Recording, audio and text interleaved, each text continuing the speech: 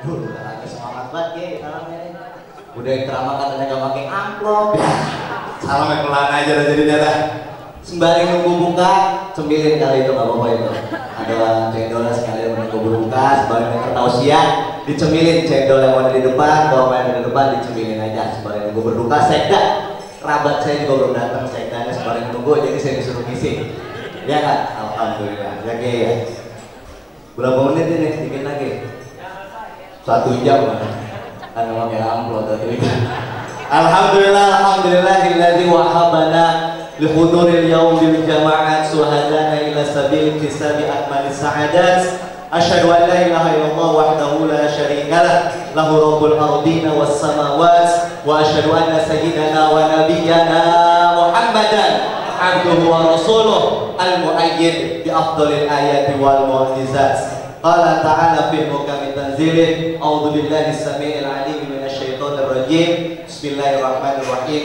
شهر رمضان الذي أنزل فيه القرآن هدى للناس وبينات من الهدى والفرقان. الآية وقال رسول الله صلى الله عليه وسلم وقال رسول الله وقال رسول الله صلى الله عليه وسلم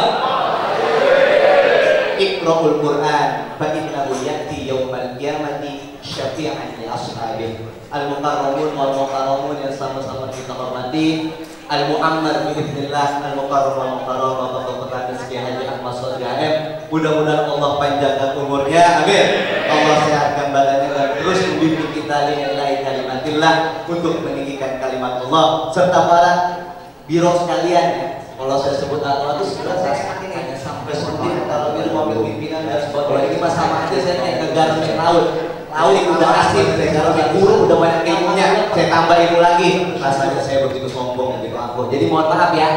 Ya udah katanya kayak kurus banget badannya. Cuma udah aku alhamdulillah udah punya istri. Baru satu alhamdulillah. Jangan dibilangin Mister Rehan. Suka kompor dia. Atau baru satu baru satu. Diusir gua di rumah ya Alhamdulillah pertama kita bersyukur bersyukur atas apa Allah masih ngasih kita nikmat iman dan Islam di saat banyak sekali orang di luar sana belum merasakan indahnya hidup dalam iman dan Islam. Banyak sebelum bulan puasa ada broadcast masuk daftar nama warteg yang buka di bulan Ramadan. Bener? Bener Kali-kali kita butuh. Saya masih apalin. Siapa tahu saya butuh. Itu apa? Buat tujuannya buat orang yang punya nikmat iman dan Islam dalam hatinya. Belum lagi ngepul siang-siang yang gak banyak gak? Udah gitu sokam lagi, jam di samping asapnya tebel banget kalau dibilang apa rokok? Pakai dalil surat An-Nisa. Laga roma wala jaruma wala sampurna ila mahta wa hulata wa ruba. Pakai dalil nikah luar biasa. Jangan ditepuk tangan itu tadi. Takbir. Tepuk tangan kita topeng. Dalilnya itu laga roma wala jaruma ila mahta wa hulata wa ruba samsu. Kalau ditanya, kenapa merokok samsu? Rokoknya wali, dua tambah tiga, lima, lima tambah empat, sembilan, wali sama berapa sembilan? Luar biasa. Kenapa rokoknya Samsu? Dua sholat subuh, tiga maghrib, empat zuhur, asar, isya. Luar biasa. Karena apa? Kita alhamdulillah masih ada nikmat iman dan Islam dalam hati kita. Kemudian nikmat sehat walafiat. Kata Kiai, kalau kentut udah pegangan tiang udah kagak sedep. Tapi Allah kentut kita masih gagah, ya belum masih badan masih enak. Masih Allah kasih nikmat sehat. Itu juga nikmat, cuma kita nggak ngerasain. Betul kagak? Terus nikmat damai, damai enggak dari rumah kemari? Damai naik motor ya enak. Lepas peci, peci dobling, aman tentram, nggak ada senjata senjata musuh, nggak ada tiba-tiba lagi duduk, nggak ada toto Israel nggak ada. Nikmat damai nggak? Damai Allah Subhanahu Wa Taala serta nikmat dijadikan kita umat Nabi Muhammad. Itu nikmat dalam kitab Nasoihul Ibad kalangan Syuhabuddin Ibn Hajar Al-Asqalani Hatta Musa, Hatta Adam alaihissalam diceritakan bahwasanya Adam alaihissalam iri sama umat Nabi Muhammad sallallahu alaihi wasallam. Umat Muhammadin Allah umat Muhammadin arba'a karomat ma'atoniha. Umat Nabi Muhammad diberikan empat keistimewaan yang tidak diberikan Allah kepada Nabi Adam alaihissalam salah satunya. Ani kuntula bisa kata Adam alaihissalam. Dulu di surga aku pakai baju kata Adam alaihissalam. Walamma asaitullah ketika aku bermaksiat di hadapan Allah ja'alani qurratan aku dijadikan telanjang. Tuh Nabi Adam dulu pakai baju di surga ngelakuin satu dosa ditelanjang wa umat Muhammadin sedangkan umat Nabi Muhammad yang sunallah kurota bermaksiat kepada Allah dalam keadaan telanjang. Bayar basuhum tapi Allah masih nutupin aib-aib kita. Bener kagak kita maksiat sama Allah sering banget. Saya juga kalau nggak ditutupin aibnya lo kagak mau dengerin lah kemarin habis gibah nih orang nih. Pada kabur gak ada yang mau dengerin. Tadi ayat pertama kita baca Quran. Jangankan ngapalin kita mah ya asar aja mati balik-balik jadi imam. Bismillahirrahmanirrahim. Wa asrika insana fi khusr cakep nih Illa alladhina amanu wa amilus salihati falahum ajrun ghairu mamnun balik sama hatim kejauhan kita ada malah ngapal belum lagi balik harokatnya. Surat al-qadr sering banget saya pernah ketemu imam. Bismillahirrahmanirrahim. Inna anzalnahu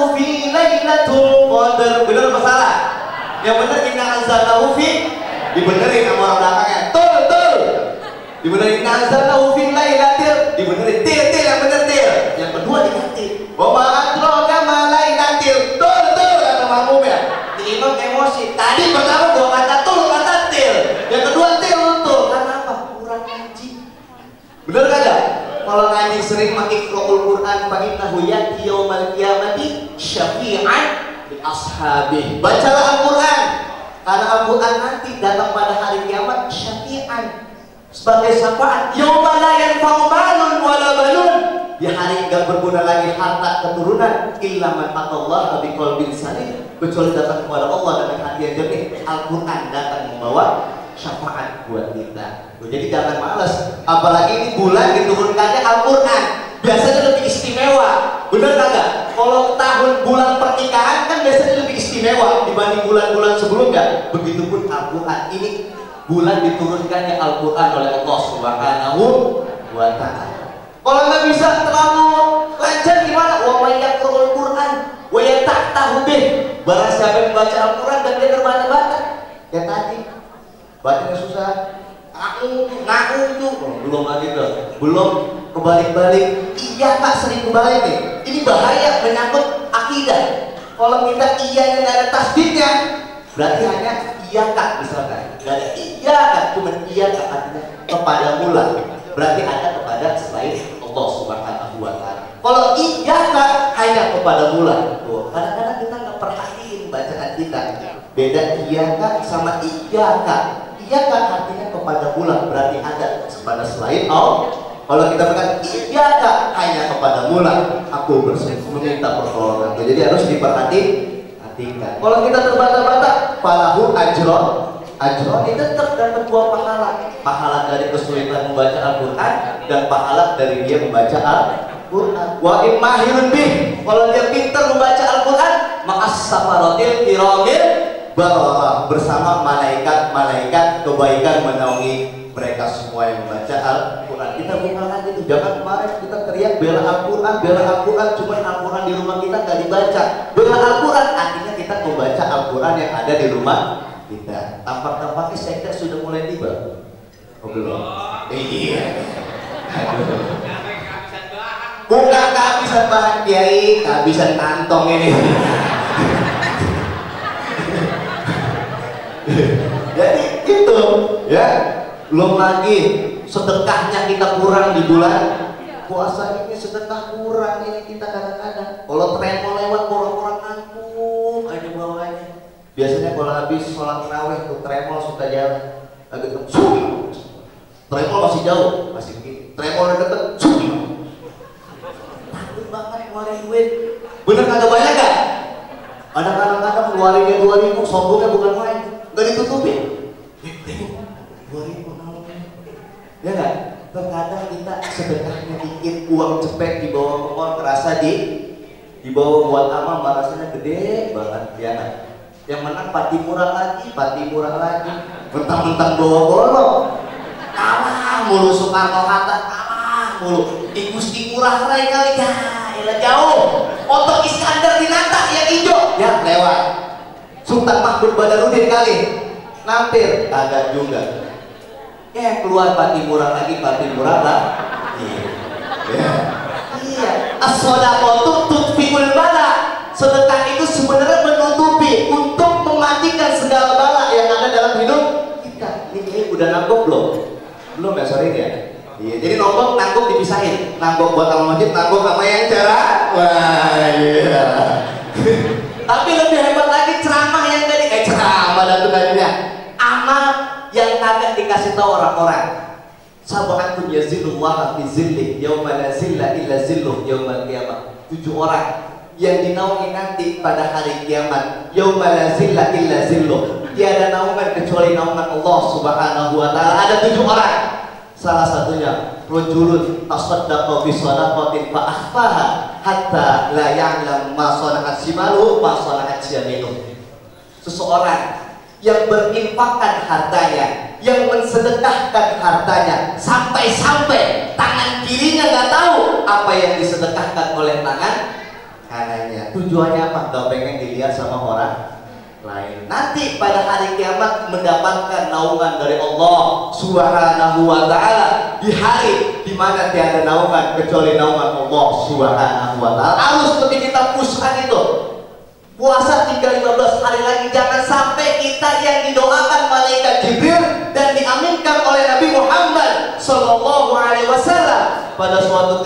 Nabi menaiki mimbar di mana mimbar yang terdiri dari buah tiga buah anak tangga salah satu doanya adalah buah dan liman adroka Ramadan falam yulfarlah celaka bagi orang yang berjumpa dengan bulan suci Ramadan tapi tidak diampuni dosanya oleh Allah Subhanahu wa taala.